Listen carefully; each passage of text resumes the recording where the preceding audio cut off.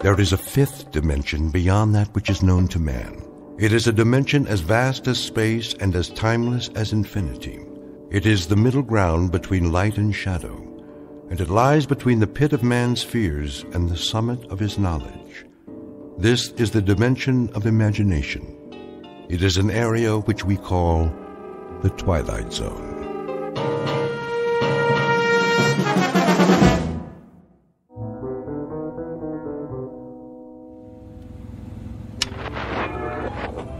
Finally. Done this radio. Voice of America International Broadcast. And now the news.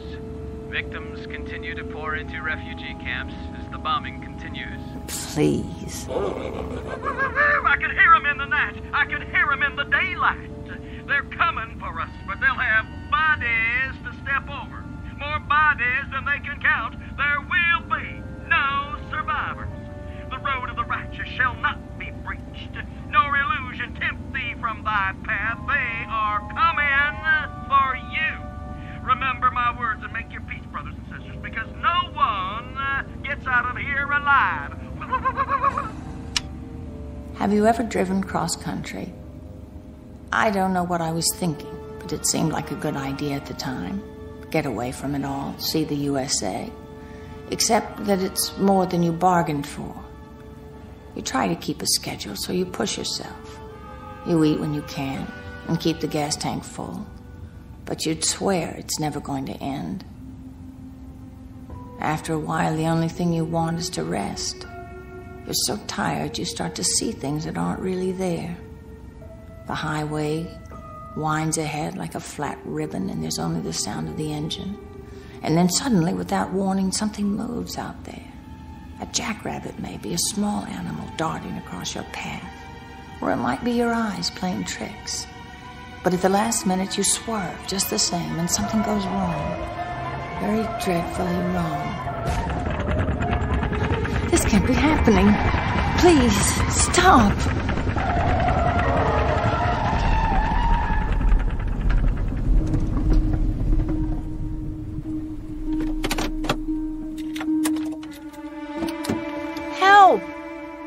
Somebody help!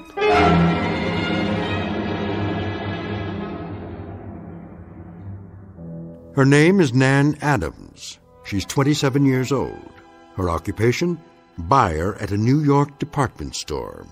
At present on vacation, driving cross country from Manhattan to Los Angeles, California.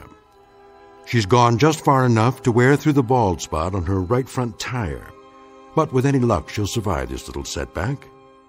Minor incident on Highway 11 in Pennsylvania. Perhaps to be filed under accidents you walk away from a conversational item for the winter months back home when Miss Adams talks of her trip to her friends over a glass of wine. What she doesn't know yet is that from this moment on, she won't be alone. For the remainder of the trip, her companion will be terror, her route, fear, her destination, quite unknown. Because Miss Adams has just crossed an invisible line not on any map, one that leads directly into the Twilight Zone. And now, The Twilight Zone and our story, The Hitchhiker, starring Kate Jackson with Stacy Keach as your narrator. How's it coming? Almost finished. I'm so sorry to trouble you. Hey, that's my job. Good thing I drove by. Yes, it is. There are no phones for miles. I don't know what I would have done. No real damage. At least you didn't flip the car. Thank God. Just let me tighten these lug nuts here and you're on your way. I should know how to do that. Would you believe I've never changed a tire in my life? You're not the only one. That's why I stay in business. Lots of flats out here. That, vapor lock, cars that overheat, run out of gas. Keep a five gallon can in the truck. I don't know what happened exactly. How fast were you going, lady? 60, 65, something like that. Oh, that all? I guess I wasn't paying attention. It happens. Gotta keep your eyes on the road, though. I thought I saw something. Like what? I don't know. Something moving. Do you think it could have been a mirage? A what? A mirage. Some sort of optical illusion with the sun on the windshield or. You want my advice? Check into a motel and get some sleep. Too long behind the wheel, you start to lose it. but I'm behind schedule. It ain't worth it. You see those skid marks? 65 miles an hour and you hit a blowout and hit the shoulder? Soft as pudding. Lady, you're on the side of the angels. By rights, you shouldn't need a mechanic. Somebody should have called for a hearse. I take your point. How's that bump on your forehead? Oh, fine. Got a first aid kit if you need it. No, no, no. It's just a scratch. There you go. Spares ready to roll. How much do I owe you? Uh, just follow me into town. I'll see if I can fix you up with another tire. You don't want to run the rest of the way without a backup. No, I suppose I don't.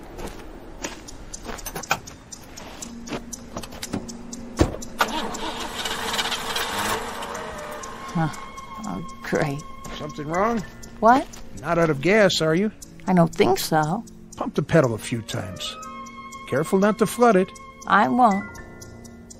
It's just that I was wondering Yeah? that man Man? over there. I, I don't know where he came from, but shouldn't one of us give him a ride? He looks like he needs it. What man? Behind us, uh, about 50 yards. I can see him in my rearview mirror. He's watching us. I don't see anything. Oh. Well, neither do I now. I could have sworn somebody was standing there by the side of the road. You see what happens when you try to drive straight through? Come on, we'll get you fixed up at the station. Yes. Of course.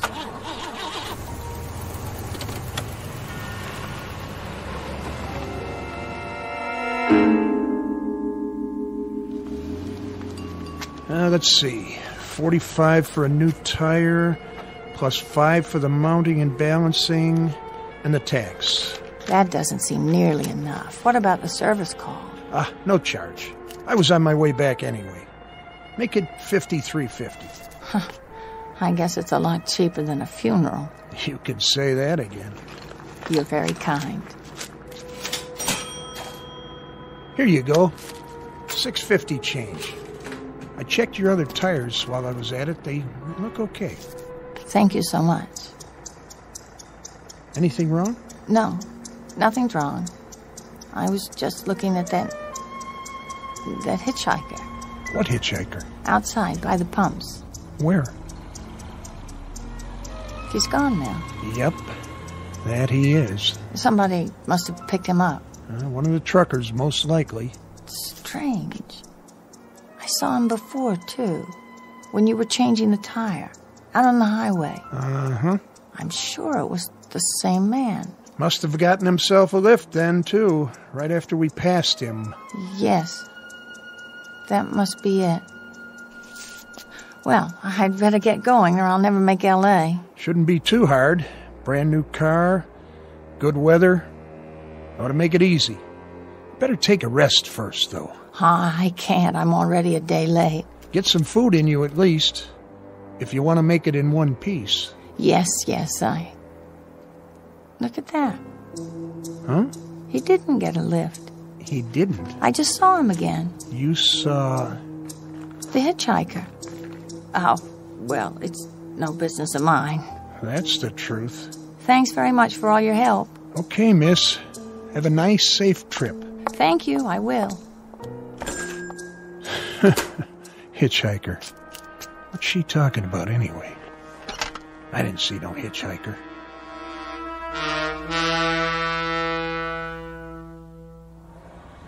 Oh, it can't be the same man. It, it can't. Who is he? I saw him again 50 miles farther on. It was impossible, of course, but I did. And then again on the long, straight stretch through Virginia. Not menacing, really. An ordinary man. If anything, drab. A little mousy. Just a shabby, silly looking scarecrow man. I shouldn't even think about him at all. But it's the coincidence of the thing. The fact that that wherever I go, there he is. And I think he sees me. His eyes are always turned my way. Is he smiling? Why? Whenever I stop, I see him.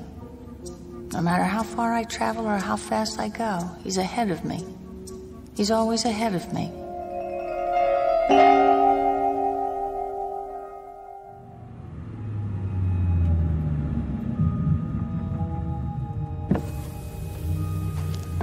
Yes, officer? Hold up, miss. Is something the matter? I can't let you pass just yet. Why not? Roadblock ahead. A roadblock? What for? Construction. Some big trucks blocking the way. Just a few more minutes. All right. I'll wave you on. Sit tight for now. This could take all night. Where's my map? I can't believe it. There is no other way. This is the only road west. Oh no, it can't be, but it is. It's him. Going west, you say? I didn't say anything. I thought I heard. No, uh, no, I'm not going west. I'm sorry. I'm just going up the road a little ways. I'm really very sorry, but I can't help you. Are you sure? Oh, please, please. It has to stop. It's true. Miss. Please. You, you can't go through yet. It isn't safe.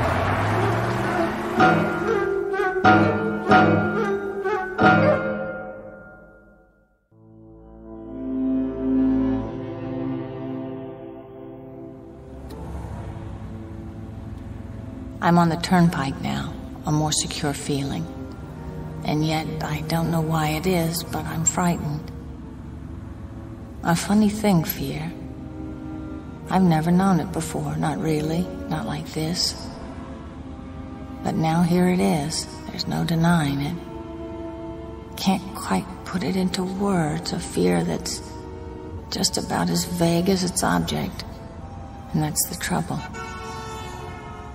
It isn't really a fear, not exactly. That may be the wrong term, but I feel something. What should I call it? A sense of disquiet. The feeling that things are a little tilted, a little off somehow. The feeling you get when something's wrong, but you don't quite know what it is yet. It's vague because that's what that hitchhiker is. He's vague. Like a charcoal sketch that somebody's made and then half rubbed off the paper, leaving only a kind of indistinct outline. I wonder why it is he's always there. I wonder why I can't shake him. But most of all, I wonder why I can't stop thinking about him.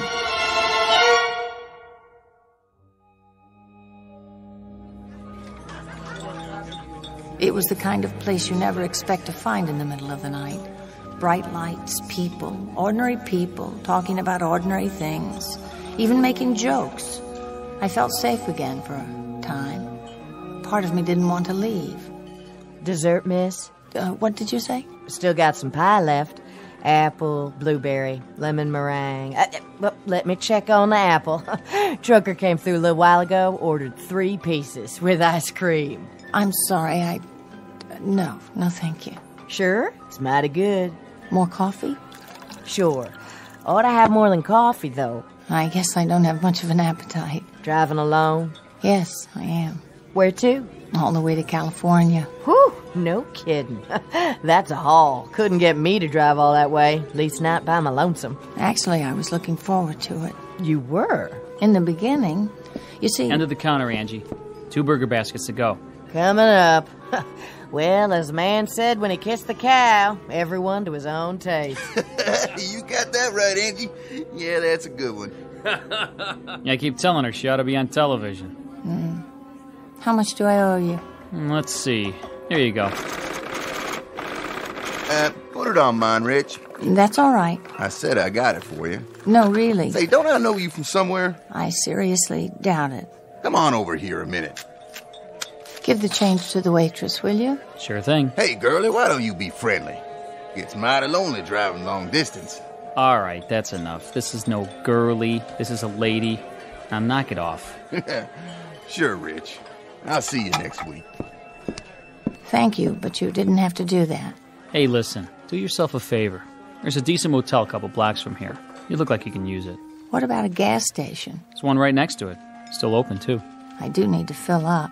Hey, you can't do better than the Bide-a-Wee. It's nice and clean. I suppose I could. Do you get many hitchhikers? Hitchhikers? You mean around here? It's pretty rare, is it? Yeah, I'll say. There's no road, just the turnpike. Guy'd be a fool hitching a ride here. I mean, look at it. Miles and miles of straightaway and practically no speed limit. Now, what car's gonna stop and pick up a guy under those conditions? Would you? No. No, I probably wouldn't. In fact, I'm sure of it. Of course, a guy might get a lift before the turnpike starts, by the toll house or something. But then it'd be one long ride, and most cars wouldn't pick up a guy for that long a ride. And, you know, this is kind of lonely country out here flatlands and hills and that sort of thing. You didn't see any hitchers, did you? Oh, no. No, I haven't seen anyone like that. I was just wondering, that's all.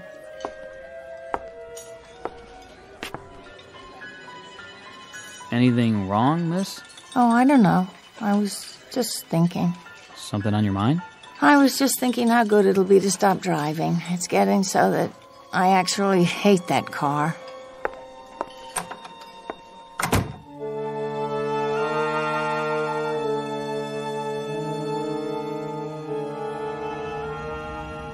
Was in no hurry to get back on the turnpike.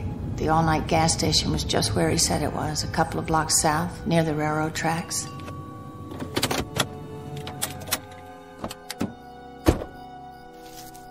There was no one around, no one at all. To tell the truth, I felt relieved, even if it was self serve. You'd think I'd have plenty of experience by now pumping my own gas, but I was used to full service. There was only a little booth where you pay when you're finished. It, it's not working. Can someone please show me how to start the pump? Hello? Hello in there? Please, I want to buy some gas. If there was a night man on duty, he must have taken a break. There was nothing for me to do but wait until he came back.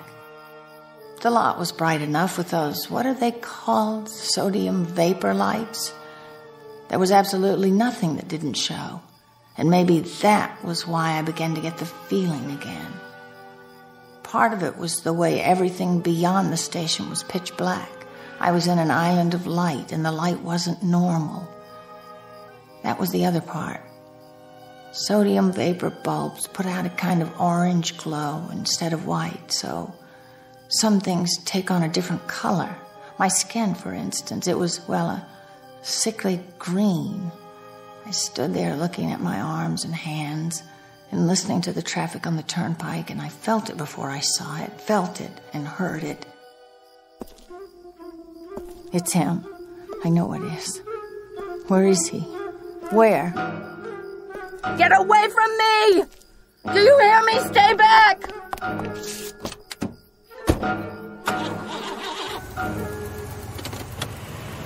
I couldn't see him, but I didn't have to. I knew who it was.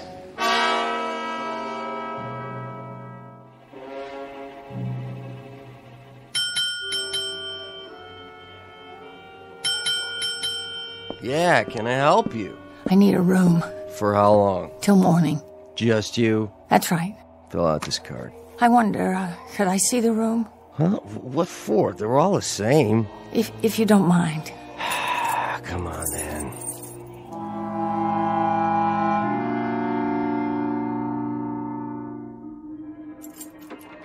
Just clean it, new towels, everything. That's fine. How's the lock?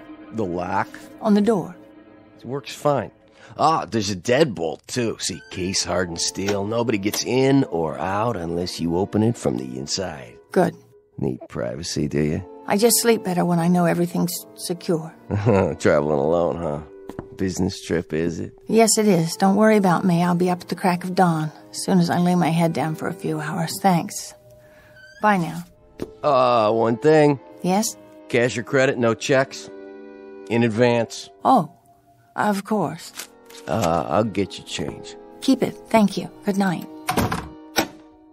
I told myself I'd be safe enough, at least for a while. I had to rest sometime.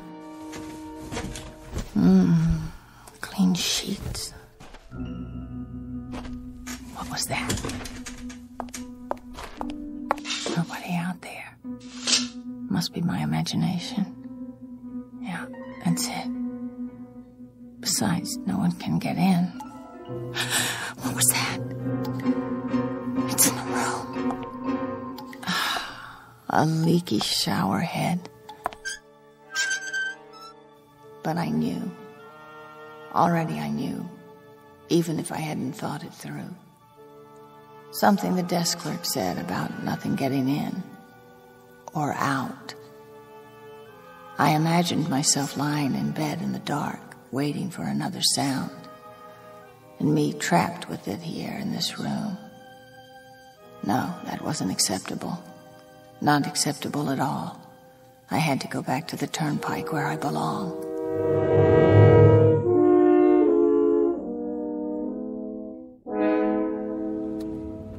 Good, the on ramp.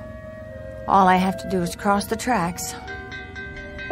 No, it can't be a train at this time of night. It's ridiculous. I have to get across. Come on, I can make it. There's plenty of time.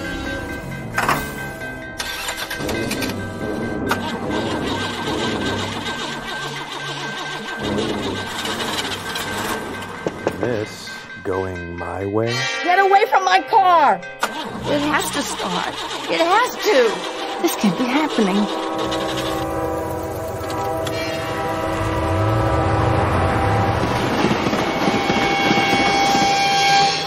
It was him. It was. Where are you? What do you want from me? The fear is no longer vague. The terror isn't formless. It has a form. He was beckoning. That drab, skinny man in the cheap, shabby suit. He was beckoning me. He wanted me to start across the tracks, for the car to stall. He wanted me to die. Now I don't know what to do. Whether I should turn around and go back to New York or go on. Thoughts stab at my brain. Ugly, frightened thoughts. Projections of tomorrow and the next day, driving through plains, driving through the desert, unspeakably, nightmarishly alone. And I know I'll see him again. I'll see him at detours, at other railroad crossings. He'll be looking at me at stoplights. If I stay at another motel, I'll glance through the window and see him outside, waiting. I don't know what to do now. I just don't know.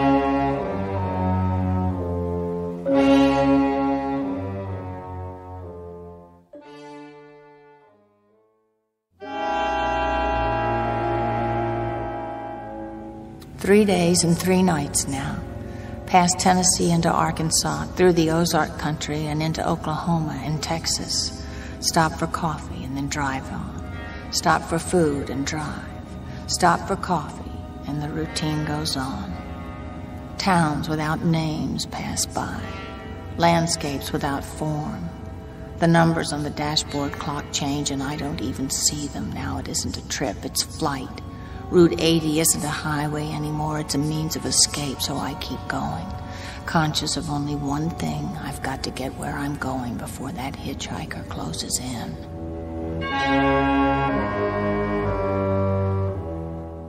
Halfway across Texas, 10 o'clock at night, the fourth day. The engine stops, and I sit there in the front seat, chilled with fear. And I can hardly believe it. Out of gas. I can't believe this. I should have stopped earlier, and now it's too late. Wait. That sign. Yes. Gas eats 500 feet. I can see it from here.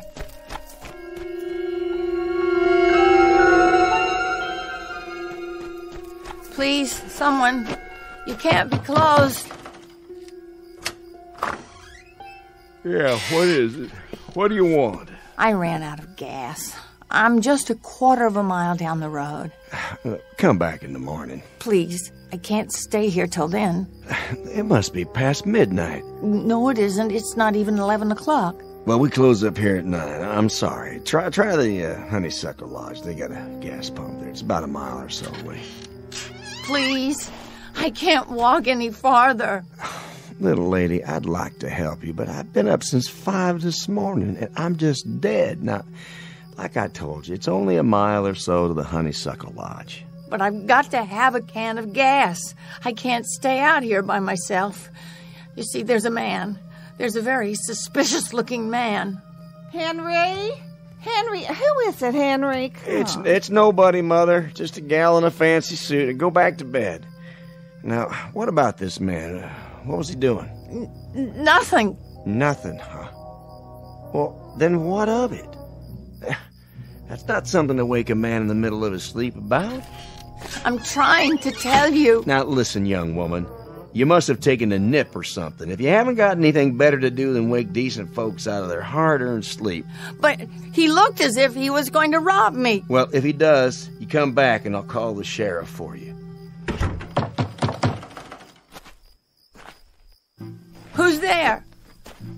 Out into the light so I can see you. You have to stop following me. Stop right now or I'll scream. There are people inside. They'll hear and. Lady? What did you say? I said, what's the matter, lady? Yes, that's what I am. That's exactly what I am. A lady. What are you doing out so late?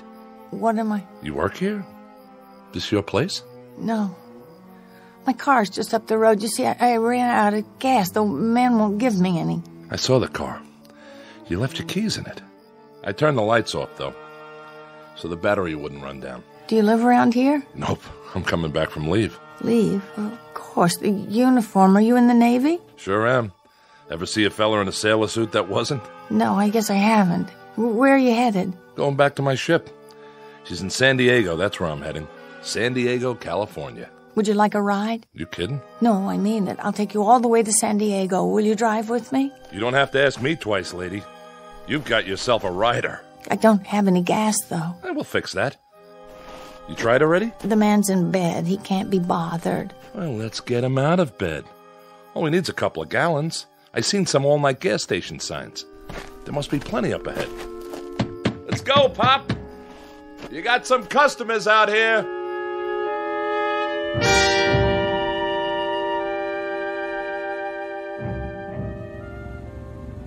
I can drive if you want. Oh, that's all right. I'm used to it. You mind if I take off my shoes? My feet feel like two hot bricks. You, you go right ahead. Oh, I keep thinking I'll wake up or something, middle of the night. No cars, no nothing, and who do I meet? A lady who looks like a movie star. Haha, hardly. Brand new car and a ride all the way to the coast. When I tell the guys back on the ship, you know the odds for even one guy believing me? I'll write up an affidavit for you and we'll get a notary to sign it. Anytime. You hitchhike much? I'm back and forth on leave. It's tough sometimes in the open country. Trucks aren't so bad, they'll pick you up. But you have trouble with cars. People in cars don't like to pick up hitchhikers at night. I suppose not. But I'll bet. I'll bet if you got a good ride in a nice car, you could go places faster than, say, a person in another car. I, I, I suppose. Take me, for instance. Suppose I'm driving across the country at a nice steady clip of about, say, 55 miles an hour. Well, couldn't a guy like you, just standing beside the road waiting for lifts, beat me to town after town? Provided you got picked up every time in a car going 65 to 70 miles an hour. I guess. Maybe he could and maybe he couldn't. What difference does it make? Oh, it's no difference. It's just kind of a crazy idea I've had after so long in this car. That's one way to pass the time. Oh no! What's going on? What's the matter? Did you see him? See who? That man. What man? The one who was standing beside the barbed wire fence. I didn't see anybody. That wasn't nothing but a bunch of steers in the moonlight. What do you think you're doing? Trying to run into a fence post? There was a man, a gray, thin kind of man with an overnight bag in his hand. You must be overtired or something, lady. There was nothing there but some cattle and a fence. I saw him. In fact, there he is now. Hey, give me that wheel.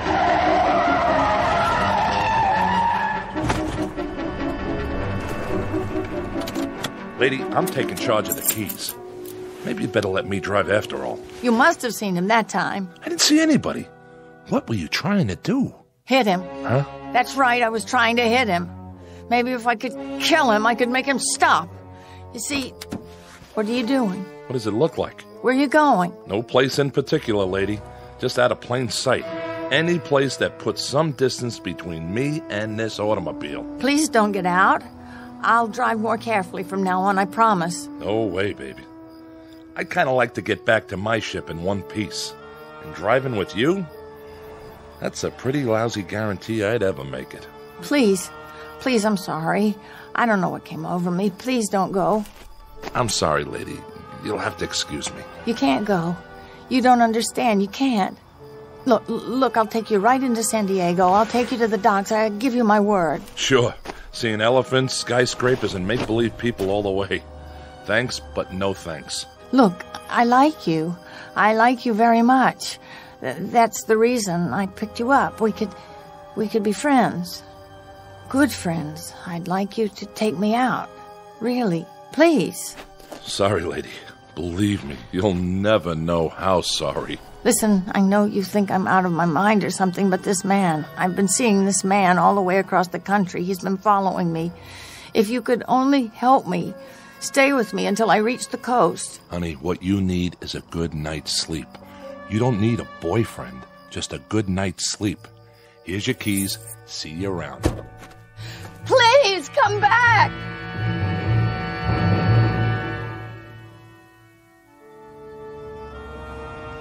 There is nothing to do but drive on into the next day. As the air grows warmer, the car gets hotter than it ever has, and you begin to wonder if the tires are going to melt. The windshield colors over with smashed insects, wasps and bees and dragonflies, all stuck to the glass. And if you're driving west into the sun, it gets hard to find your way. But I see him again in the middle of the Texas prairies, and then everywhere, wherever I pull off, even for a moment, for gas, for oil, for a drink of pop, a cup of coffee, a sandwich. He's there. He's outside the entrance to a rest stop near El Paso. He's sitting by a drinking fountain and a little camping spot on the border of New Mexico.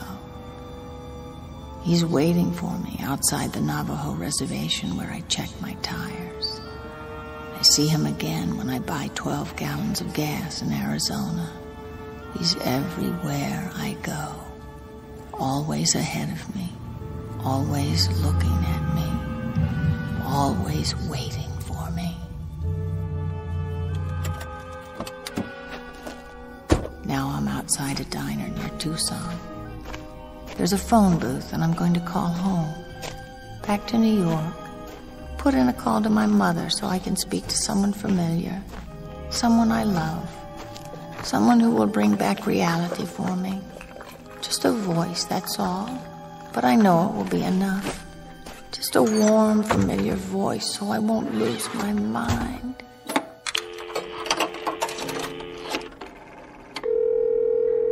Operator, I'd like to make a call to my home in New York City. what is the number, please?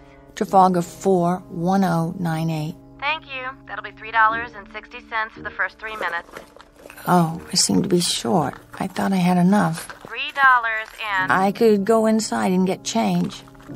Look, can't you put it through? I have to talk to my mother. Would you like to call collect? Yes, yes, that's it. Thank you, operator. What number are you calling from? Wait. There's no number. It's been scratched off. If you can't give me the number. Don't hang up. Here, I, I found some coins. I'll put them in now. 50 cents more. Y- yes, yes, I know. I've got it. Thank you. Go ahead, please. Mrs. Adams' residence. Hello? Hello, Mother? This is the home of Mrs. Adams. Who did you wish to speak to? Who's this? This is Mrs. Whitney. Mrs. Whitney? I don't know any Mrs. Whitney. Is it Trafalgar 41098? Yes. Where's my mother?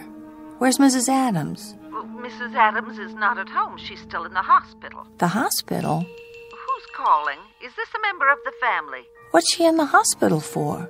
She's been bedridden for five days. Nervous breakdown. Who is calling?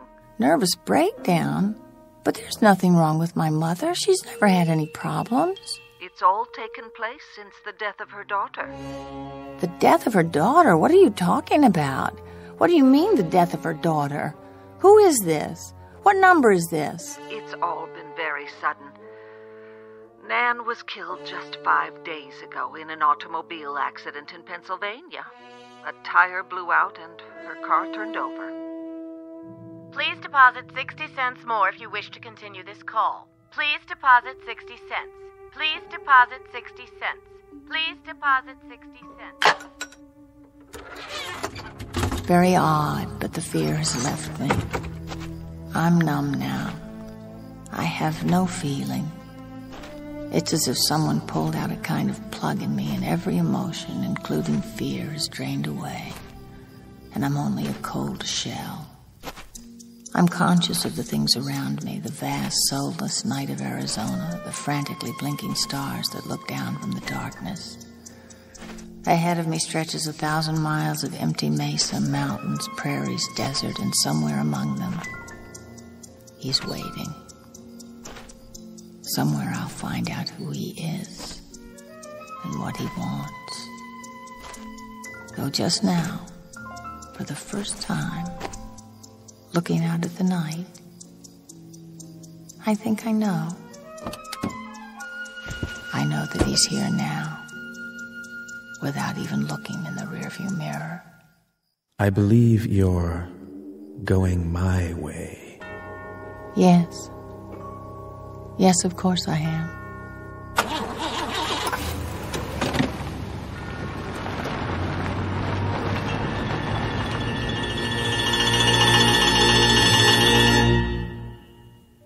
Nan Adams, age 27.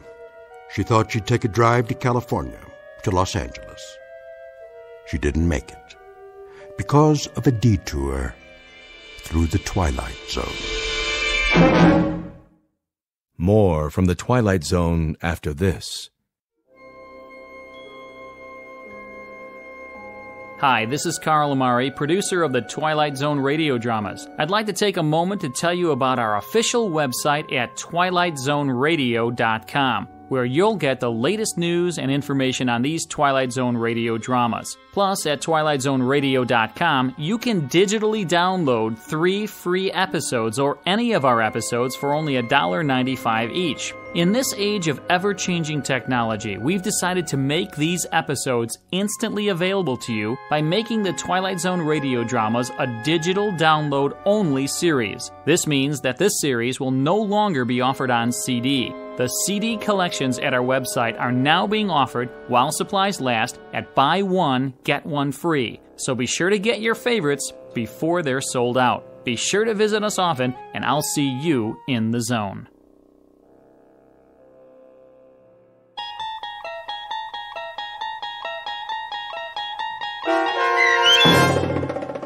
The Hitchhiker, starring Kate Jackson, with Stacy Keach as your narrator, was adapted for radio by Dennis Etchison and based on a script by Rod Serling from a story by Lucille Fletcher. Heard in the cast were Mike Starr, Nick DiGilio, Todd Manley, Peter DeFaria, Turk Muller, Doug James, Kurt Naebig, Carl Amari, Deb Doetzer, and Meg Falcon. To learn more about the Twilight Zone radio dramas and to obtain audio cassettes and CDs of these programs, visit our website at twilightzoneradio.com.